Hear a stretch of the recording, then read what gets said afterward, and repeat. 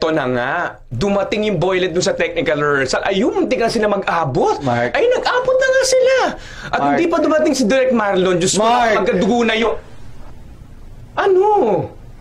I have cancer. Hindi ito fake news.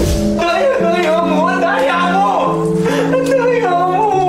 Iniwan mo na ako! Hindi sila fake friends. Get a room, guys!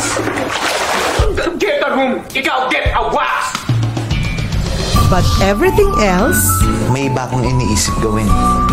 Pero kailangan ko ng tulong mo. is all fake. Fake death. Fake wake. Fake funeral.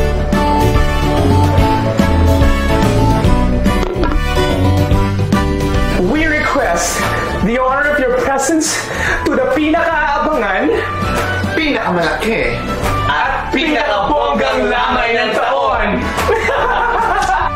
Starring two fake women.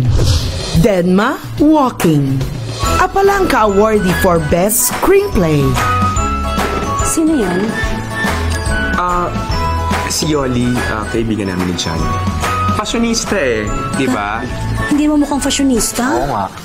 Mukhang tanga, ano? Eh mismo, yun nga. Denma Walking. Nangangako po ako na gagawin ko ang lahat upang maiharap sa hustisya kung sino man ang gumawa ng pagpagslang sa kanya. Rarampa soon